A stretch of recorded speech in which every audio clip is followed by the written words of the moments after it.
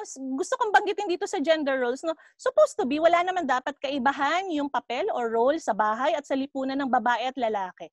Maliban na lang kung yung role na yon o function na yon ay may kinalaman sa biology or yung anatomy ng isang tao. Na usually ay nakadepende yon sa kanyang reproductive system. Ano? So, pag pinag-usapan ng gender role, pwede lahat yan. Pwedeng kahit sino, pwedeng maging police, pwedeng maging military.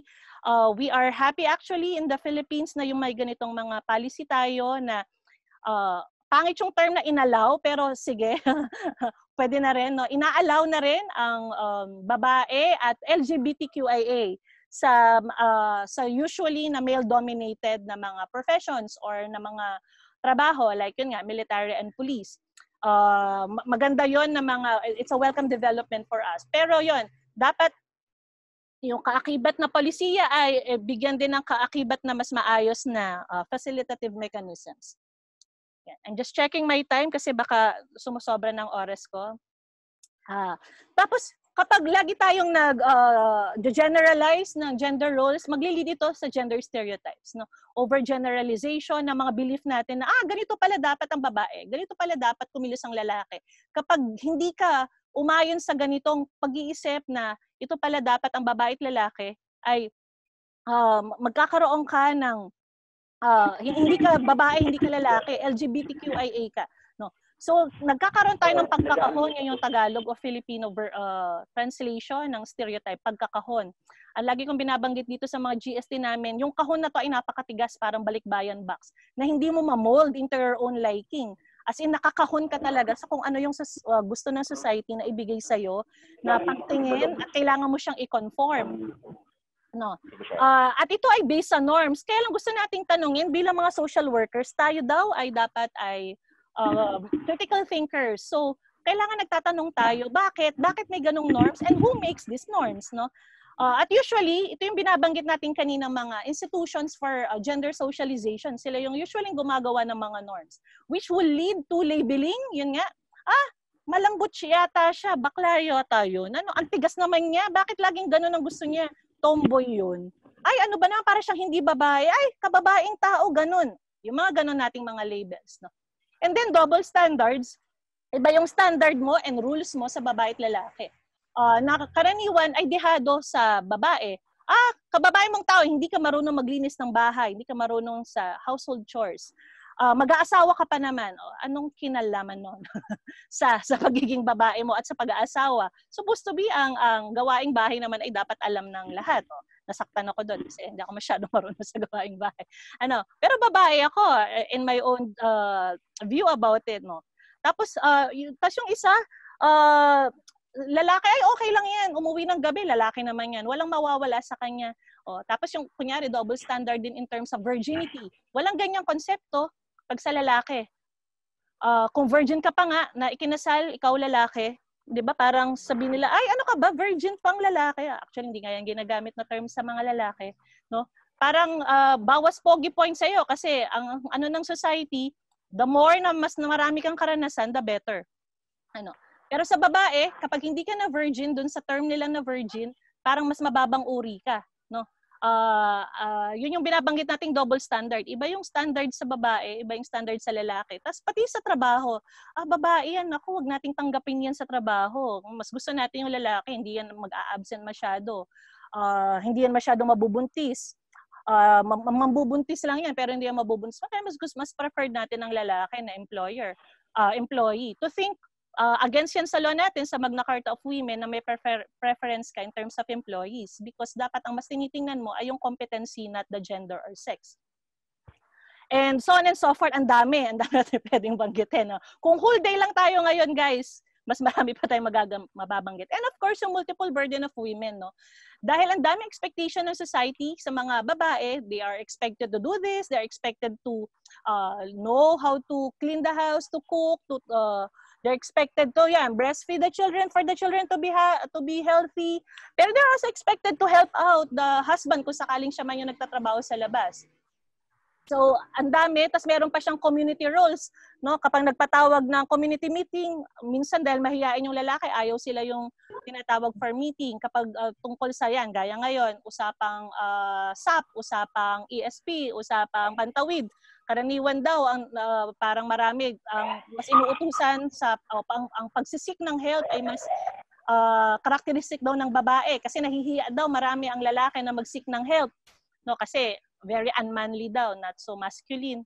No uh, problem uh, ano rin namin yung concern namin sa mental health at psychosocial uh, pag-provide ng psychosocial support. Kasi parang sa statistics namin kakaunti ang mga, mga nanghihingi ng psychosocial uh, aid ng mga lalaki. Kasi yun nga yung yung general na pagtingin na yung patriarchy to no? Yung general na pagtingin ng mga lalaki malakas. So why will they seek help for for whatever, psychosocial support man yan, um, SAP yan, uh, relief goods, no?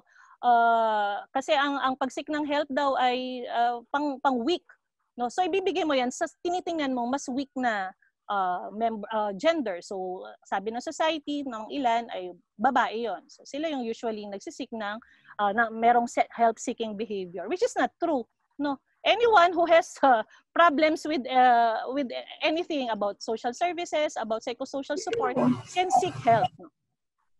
So, yun yung mga ilang concerns natin about gender stereotypes. Ito, marami makaka-relate malamang sa atin dito yung mga uh, ilang mga manifestations sa language natin everyday.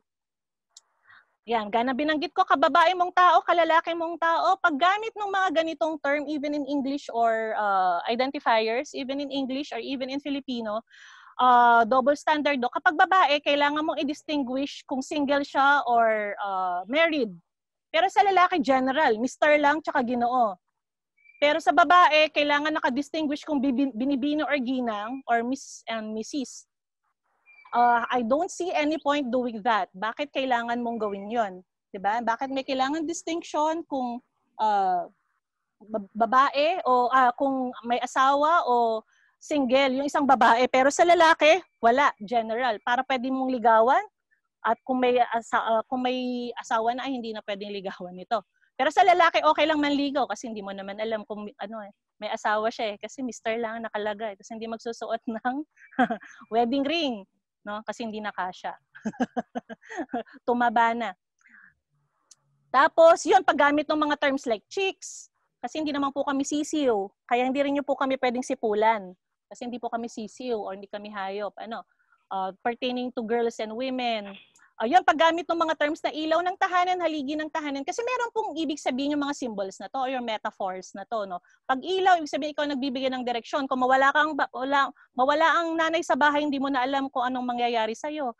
Kawawa naman yung babae pala, hindi pala pwede magtrabaho sa labas ng bahay kasi uh, magba-brown out sa bahay kung wala yung nanay. Yung haligi ng tahanan, it speaks na sila yung pillars, no, haligi. Ibig sabihin sila yung matapang, sila yung matatag, sila yung pundasyon. So kung inana yung haligi ng tahanan, giba yung bahay, which is also not true kasi may mga babae na sila yung haligi ng tahanan. May mga lalaki rin na sila yung ilaw ng tahanan. So ito yung binabanggit natin kaninang gender roles. Hindi naka uh, naka-limit sa isang gender or sa isang sex yung mga roles kasi depende yun sa personality mo. Depende sa iyong characteristic. Ito yung dalawang susunod, parang mga binabanggit to, uh, victim blaming to, no? Kapag ikaw ay uh, victim survivor ng gender-based violence, ano ang suot mo nung ikaw ay ma-rape? Ba't kailangan mong tanungin? O kung sino man yung law enforcers, bakit mo kailangan malaman kung ano yung susuot ng isang taong uh, nagawan ng uh, karahasan, no? gender-based violence? Uh, isa ba siyang pagtingin na dahil nang akit ka?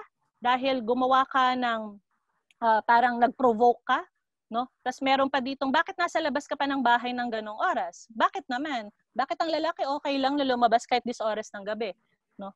Uh, bakit uh, meron tayong right to mobility? Paano kung uh, graveyard shift ka sa, uh, sa call center? Tapos takot na takot ka mapapunta sa ganong shift kasi nga hindi safe ang environment. So why don't we make the environment safe for everyone, for anyone who would like to go out even if siya dis oras ng gabi? Uh, ito, to, to. Lagi ko nakikita to. Kapag usapang, uh, ay, ang, ang decisive ng kanyang ginawang uh, solution, napakatatag naman niya ang lagi binabanggit, she has the balls. O kaya kapag yung lalaki naman ay lalambot-lambot, hindi siya nagbibigay ng decisions, ay walang bayag. Oh, excuse me po, oh, wag na lang po tayong ma... Usually binabanggit namin yung mga ano na yan no uh, for for professional use naman no. She has the ball. So parang um, sin, uh, yung symbol na balls ay ginamit para ma-equate sa katatagan o kalakasan at sa pagiging uh, magaling mag-isip. Whereas yung uh, yung pussy, alam naman po natin kung ano ibig sabihin niyan, no, as in literally, uh, ginagamit yung uh, yung may meaning siya na malambot, uh, mahina. No, meron ako nabasa ng article, why do we use it to say na mahina siya? Yung pussy ay naglalabas yan ng bata. At siya ang uh, second uh, na pinakamatinding pain na mararanasan ng isang taong nanganganak kapag yung normal delivery ano next to being uh, uh, killed by a fire no by a, a live fire no.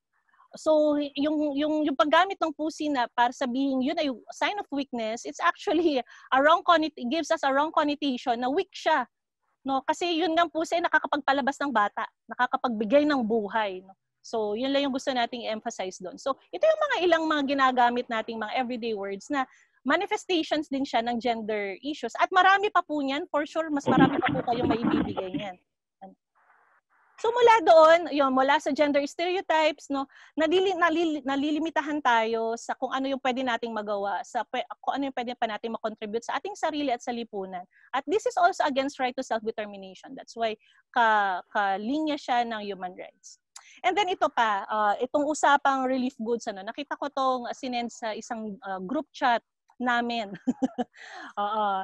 uh, ng uh, mga matagal ng batch nung unang panahon. Ayan. So, uh, ang isang ano dito, objectification. No? Tinitingnan mo ang mga tao, babae man o lalaki, pero ang lagi mas biktima kasi dito ay babae. Nadidiminish sila bilang mga objects o bilang mga pagkain. Tingnan naman po yung picture, ano, kasama po siya sa relief goods. So, pwede ho siyang kainin. Ganun po ba yun? So, kalebel po niya ang mga um, relief goods, yung babae. Ano? So, kaysa tingnan nyo isang tao bilang uh, isang tao na may dignidad at may uh, karapatan, na diminish yung, uh, na-reduce yung kanyang pagiging tao sa pagiging object. So, at mas mas mas malalaki pang mga issue like gender discrimination, gender subordination. Pag gender subordination, ibig sabihin may tinitingnan ka mas mababa o mas uh, secondary na sex or gender at yung pinakaayaw nating gender-based violence talaga na pangmalupitan ano uh, which we have lost na dito sa Pilipinas. So yung mga ilang uh, mga examples dito yung uh, pag uh, yung mga ilang kultura sa atin na pinapayagan ng child brides, Siyempre yung rape and iba pang mga uh, iba pang abuses nasa anti-vowsy law yan at iba pang mga batas natin. Female genital mutilation. Uh, sa mga hindi po nakakaalam, i-google niyo po yan. Yan yung po yung may ginagawa sa ari ng babae, tinatanggal yung face, tinatanggal yung clitoris kasi tinitingnan siya bilang madumi. Uh, at femicide, pinapatay yung mga babae because just because they are women. So ito yung dito uh, parang na-raise yung isa sa mga recent events natin, yung black uh, black and white photo uh, na challenge uh, recently na siya ay talagang galing sa um, galing sa Turkey na panawagan kaya lang hindi na napa-raise talaga kung ano para saan yung black and white uh, photo challenge pero para sa advocacy against femicide yon. Okay. Dali Check ko lang po, time check. Yan. Sige. At syempre yun nga yung gender-based violence to. Malaki po yung kinalaman ng ating mga pag-iisip about gender, yung ating gender stereotypes. Sa gender-based violence and vow. No? Kasi kung nakikita ng society na mas mahina yung babae o ng anumang type of gender yan, LGBTQIA man. Kasi ang violence nangyayari uh, by a person who thinks he or she is more powerful than the other.